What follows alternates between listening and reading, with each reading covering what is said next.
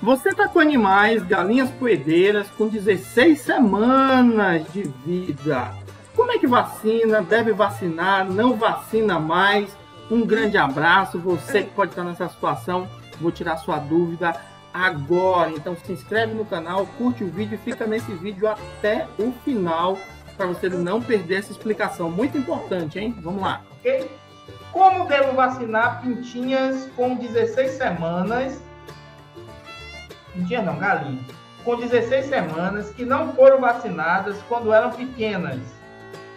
Tenho começado o calendário de vacinação ou devo aplicar apenas as últimas vacinas do calendário? Ó, se você está com 16 semanas, eu não sei o que foi aconteceu para você não vacinar, né?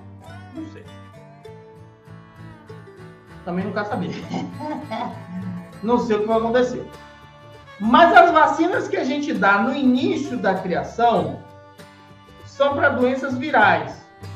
São doenças altamente contagiosas e doenças mortais. Por isso que a gente dá logo desde o início lá, para não acontecer essa doença no início da criação e você perder tudo.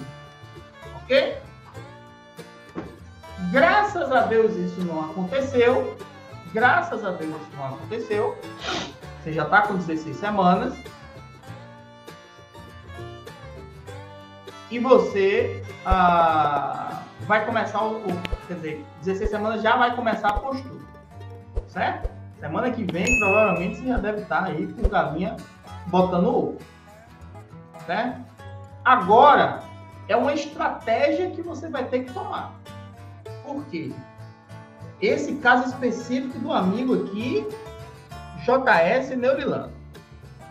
Se você fizer uma investigação na sua cidade e descobrir que Newcastle, Bumburo, bronquite e bulba são doenças que aí ninguém pega, talvez seja melhor você nem vacinar. Agora, especificamente, com o amigo Neurolano que está com 16 semanas.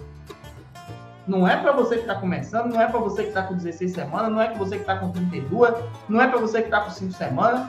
É especificamente, eu estou falando aqui especificamente para o meu amigo que está com 16 semanas. Por que, que eu estou dizendo isso?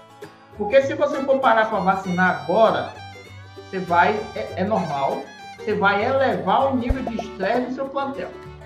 Porque você vai ter que ir confinando essas aves, pegando ela, vacinando, pegando outra pessoa, pessoa jogando lá na frente. Isso é um processo que eu não sei quantas galinhas você tem. Devo vacinar a galinha, não Eu não sei que não está aqui a quantidade. Eu não sei quantas galinhas você tem. Isso é uma coisa que vai demorar talvez o dia inteiro você tem 200, 500 galinhas, vai demorar o dia inteiro. Vai elevar o nível de estresse dessas aves. E possa ser que semana que vem, que você tinha que já ter ovo, semana que vem não, daqui a duas semanas que você já tinha que ter ovo, talvez você não tenha. Eu estou fazendo aqui uma suposição. Porque depois a pessoa diz, não, se vacinar. Sandro disse que se vacinar com 16 semanas, com 18 semanas não tem um. Não foi isso que eu disse. Eu estou dizendo que existe a possibilidade dessa vacinação você elevar o nível de estresse e essas galinhas não botarem com 18 semanas. Também eu não sei, quando vocês dizem assim 16 semanas, eu não sei se você está no primeiro dia de 16 semanas ou no último. Certo? O nível de estresse de uma galinha adulta, como você está aí, é 15 dias, 20 dias, dependendo inclusive da condição do seu galinheiro, da condição de sua ração. Se seu galinheiro já não é muito bem, se sua ração já não é muito bem, essa movimentação toda, seu estresse vai lá para cima, talvez demore um tempão para ela recuperar aí o estresse dela. Essa é uma essa é uma coisa que pode acontecer. Certo?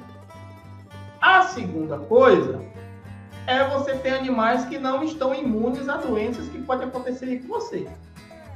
Eu vou te dizer que Newcastle, Gumburi e, e bronquite são doenças difíceis de pegar em sistema caipira. Não é comum, apesar de na internet estar tá permeado de gente dizendo que tem Newcastle, mas não é comum, certo? Você precisa estar numa condição de local, de região muito específica para você ter essas doenças. Já a bomba é uma doença muito comum. Pega no Brasil inteiro. Então, assim, seria interessante você olhar essa situação. Isso aí é muito mais algo estratégico. Eu não posso lhe bater o martelo agora, porque como você não é meu aluno, eu não sei sua condição de galinheiro, você, eu não sei. Se for, pergunta lá no grupo, hein? Eu não sei sua condição de galinheiro, eu não sei como é que tá o clima aí, eu não sei quantas galinhas são, não sei como é que tá sua ração, não sei como é que tá o peso dos animais, certo? Então seria leviano da minha parte dizer assim, faça tal coisa. Eu estou te dando aí dois caminhos para você. Realmente a decisão agora é mais sua que minha, certo? É mais sua que minha. Beleza? Olá, meu amigo, olá, meu amigo, um grande abraço. Que bom que você ficou até aqui, que bom que você tirou sua dúvida. Aproveita enquanto eu estou falando aqui, deixa um comentário da sua pergunta e clica no botão aí de se inscrever e logo do lado tem aderir. Seja membro do nosso canal, porque você tem várias vantagens, curso inclusive, incluso e acesso ao manual do criador iniciante também. Então seja membro do nosso canal. Vamos lá, um abraço.